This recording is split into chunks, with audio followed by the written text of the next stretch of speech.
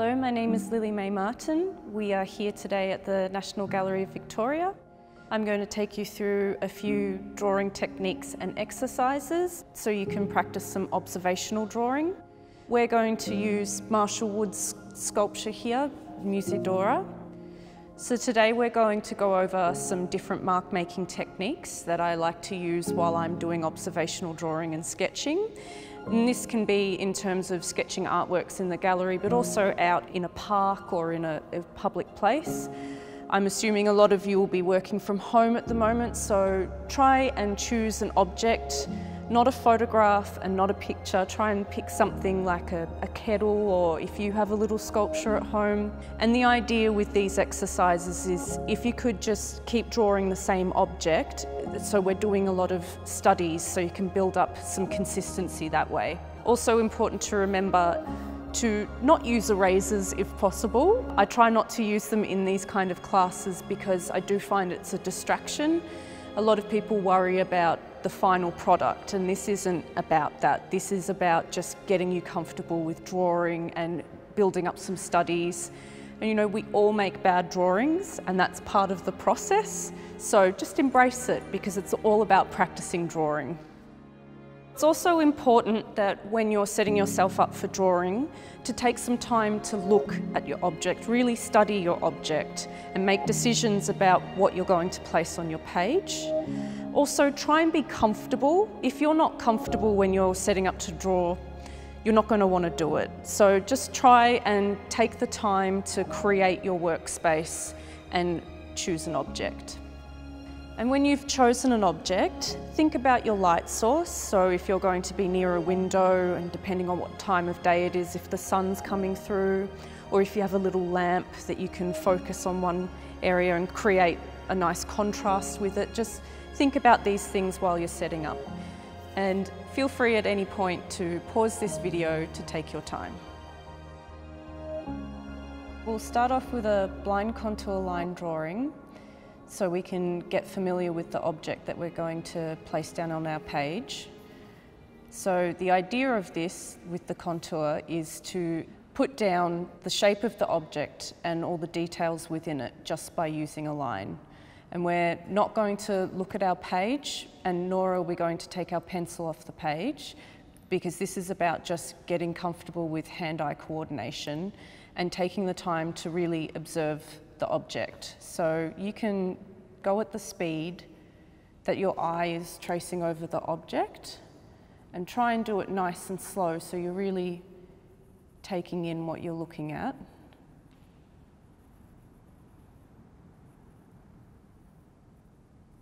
So you can go into the interior of the object just by using the line. And we're not going to worry about what this is going to look like at the end because this is just a drawing exercise.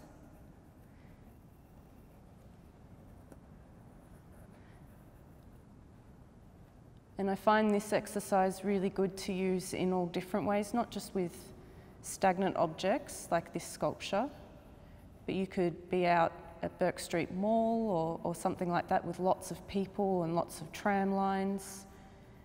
And you can go really fast trying to sketch some people. It's also a really good exercise to do in regards to portraits of people or your pets. So just really take your time with this one. And even if the object's not going to fit on your page, that's fine. Just move up into your page and get the information down there. Because this is just about observing. Okay, there you go. That's the first exercise to warm you up.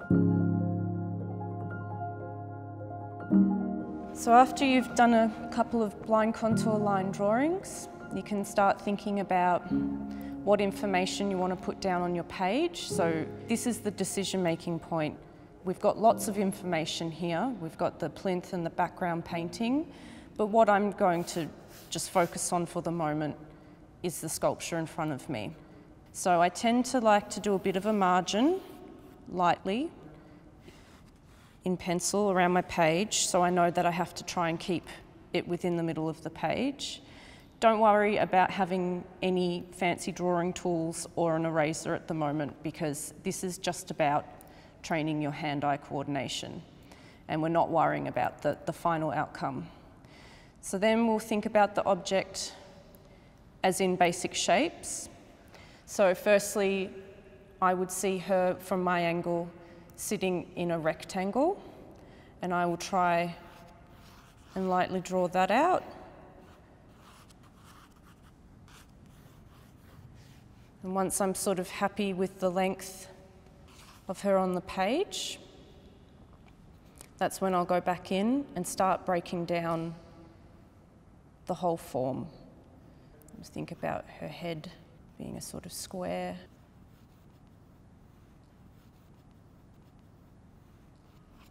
The trunk.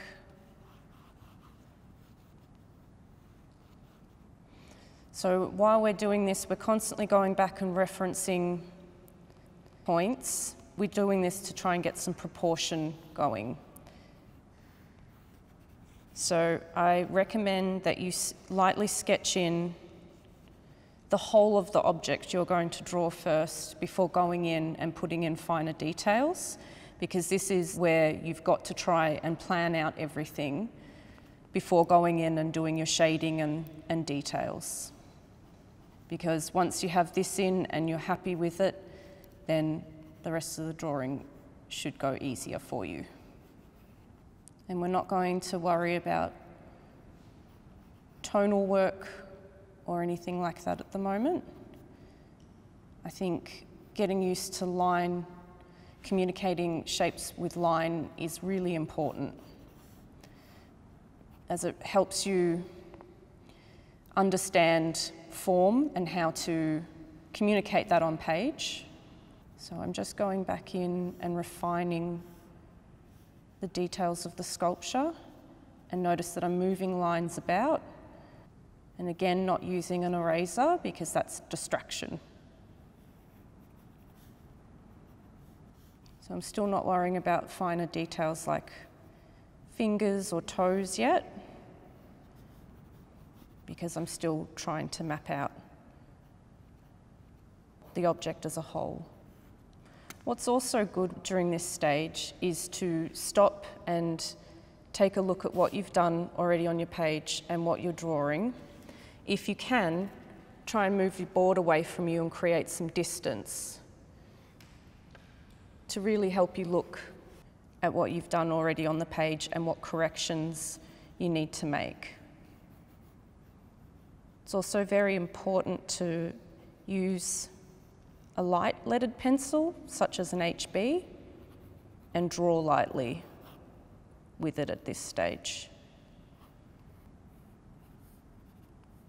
So with observational sketching, I tend to like to use objects such as sculptures or, or furniture or something that isn't 2D. I don't tend to draw from paintings or other drawings because that's already quite flat and in our modern way of working, we tend to reference a lot of photographs when we're doing our finished pieces.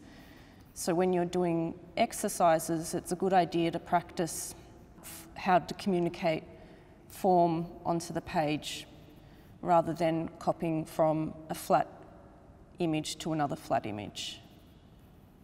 So I'm still referencing different reference points from one another where the, the bottom of the elbow is sitting to the top of the shoulder.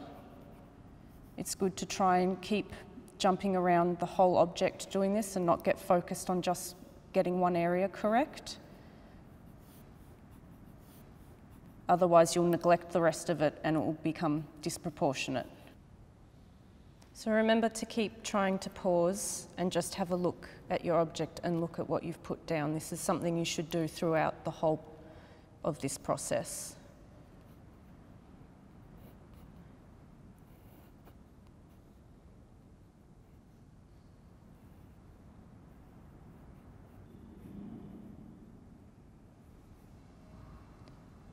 And even though hands and feet are notoriously tricky to draw, do try and have a go at them. The more you practice, the better you'll get at it. And at this stage you can start and going in and filling in some of the finer details such as the folds of the blanket and the fingers and toes. Again, we're just using line at the moment. So don't worry about tonal works. I also find with drawings like these, just trying to do a line drawing of the whole object, sometimes setting a timer for yourself, such as for 20 minutes, will force you out of your comfort zone and move quickly to try and put as much information down on the page, or you can take longer with these types of drawings. It's also good to leave some of your reference lines in there because this is, again, just an exercise, not a final piece, to go back and, and have a look at your work and, and find what works for you in terms of building up your drawing. So that's the line drawing. So now that we've learnt some mark making techniques, we can go back to our artwork or the object that we're referencing. And I'm going to focus in on a detail of this sculpture just so I can better show you how to use some of these techniques. So I'm just going to focus on the feet. We'll start off with that breaking everything down into simple shapes again, constantly moving back and forth between your page and the object. And this again will take some time because it's important to try and get this as correct as possible.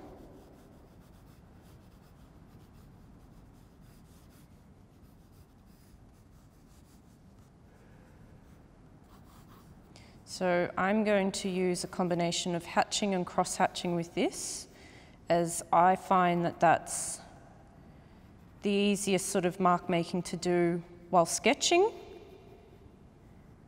However, if you wanted to use tonal or stippling,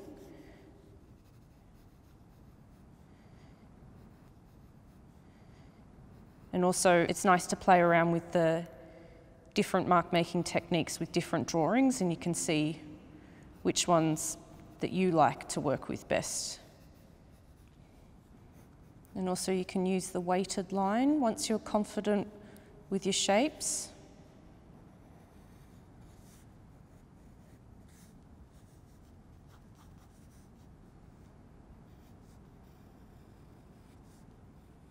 I tend to like to use this line in bigger pieces to sort of draw the eye to what's the focus of the work.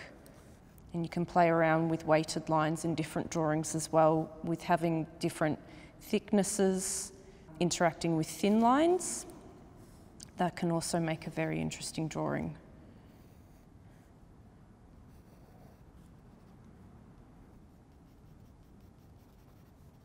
So I usually start off with some hatching. Try and go in light first.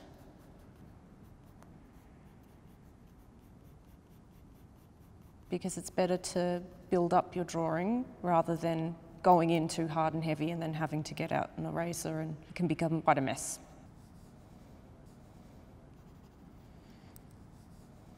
So again, where the areas are darker, try and keep your lines closer together. And where they're lighter, have them further apart.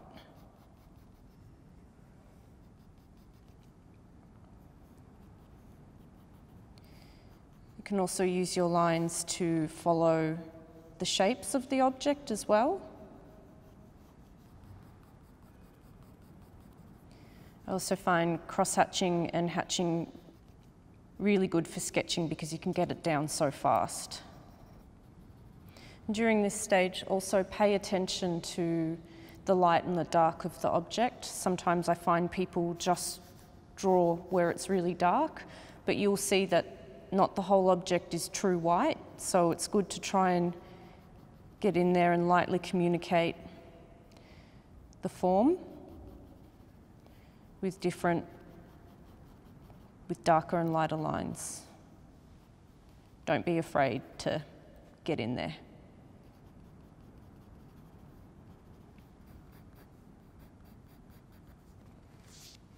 And you also notice with light falling on the object, how the shade is darker in certain areas and then it tapers out. to lighter. So you can communicate that with lines, again, being drawn on quite thick and close together. And then as the light tapers out, you can start moving the lines further apart from one another and draw them down light, lighter.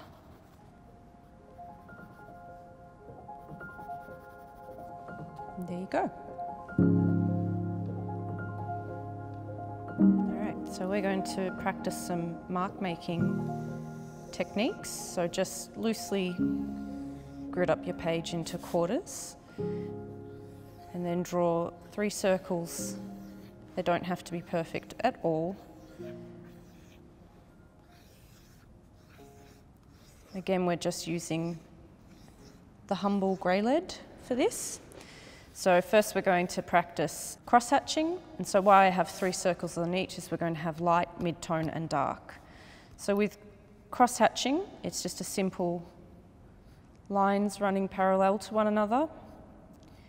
And for lighter, just keep the lead light on your page and space the lines out further away from one another. And then we'll have mid-tone, we'll keep them a bit closer together, maybe go a bit heavier with your lead. Hatching's really good to use in terms of when you're sketching because you can get it down very fast. And then dark.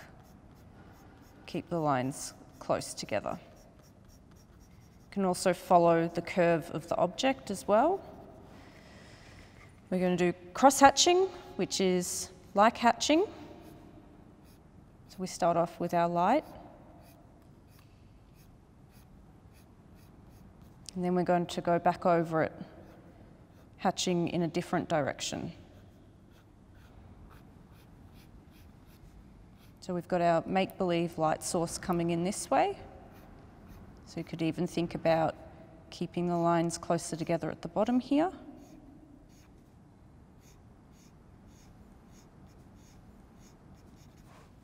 You can have a play around with these, with different shapes. You can also start spacing the lines out a bit to sort of taper off from dark to light.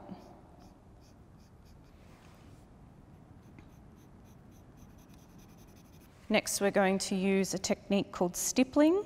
So stippling can be rather time consuming, but it's a very good technique, especially if you're trying to communicate something a bit more delicate, such as flower petals or, or cloth. And what it is, is tiny little dots. This is our light tone, so I won't go too dark here. So keep them spaced. Same with the lines, keep them spaced away from one another for a lighter shadow. This is often really popular to use with things like fine liner pen or ink. Again, if you're tapering off with the tone, you can space the spots out even further away from one another.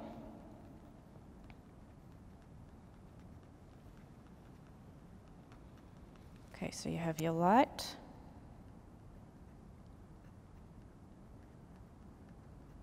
Mid-tone, I'm trying to make the dots a little bit bigger and closer together.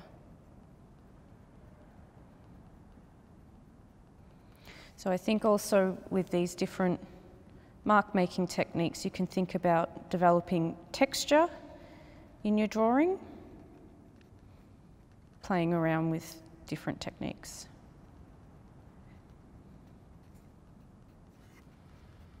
Okay, and the darker one.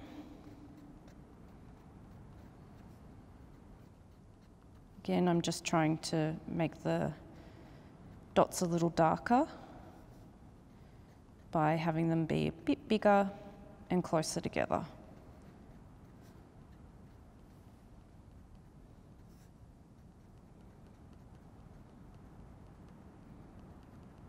And finally, we're just going to use tonal, which is just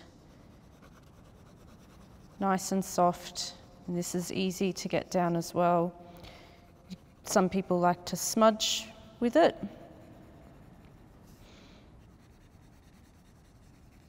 It's a bit more gestural. which some people prefer.